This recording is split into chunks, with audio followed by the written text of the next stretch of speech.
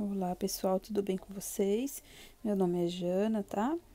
É, eu, eu tô com chantilly, chantininho estabilizado, tá bom? Acabei de bater ele, ó, tá feio, poroso. É, eu vou mostrar pra vocês como eu texturizo ele e como eu deixo ele na cor vermelho, tá?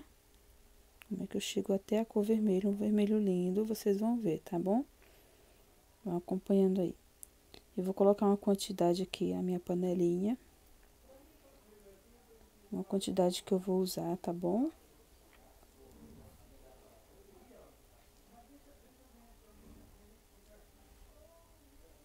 Pronto. Aí eu vou texturizar, tá?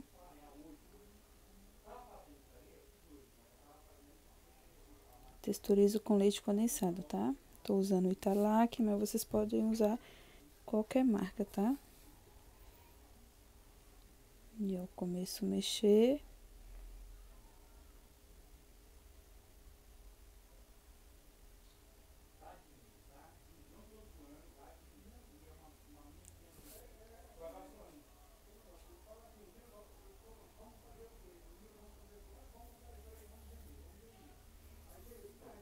E vou mexendo. Pessoal, pode mexer bem, sem dó, tá? Seu chantilly não vai desandar. Ele vai texturizar, tá bom?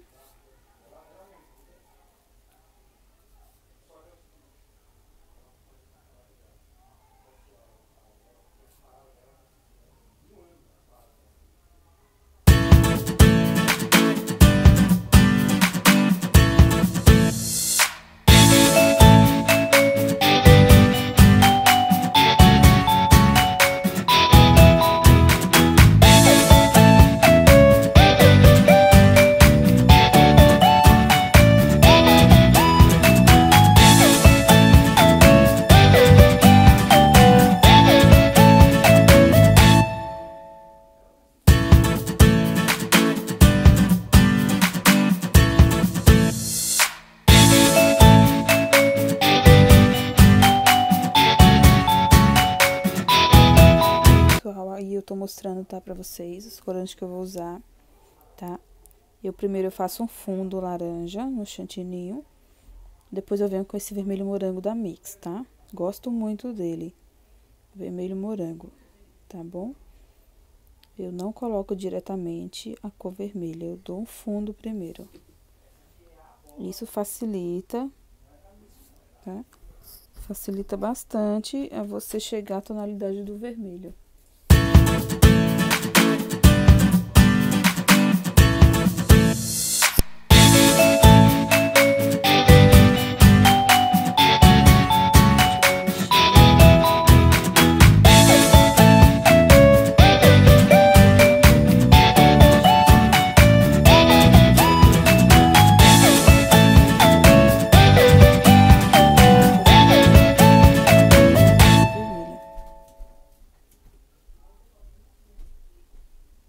Agora, eu venho colocando o corante vermelho. É uma quantidade, tá? Mas não é muito. Vocês estão, dá pra perceber que não é demais, né? Tem gente que tem muita dificuldade a chegar na cor vermelha e acaba usando tubo, tubo quase todo, né? E aí acaba que amarga mesmo. Esse meu chantininho vermelho não vai amargar, tá, gente? Pode fazer tranquilo que não amarga. Por que não amarga? Porque eu não coloco corante demais, tá?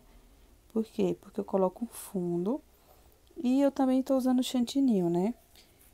Se fosse chantilly puro, aí a gente corria mais um certo risco de amargar. Mas como é o chantininho, passa mais segurança pra gente, tá?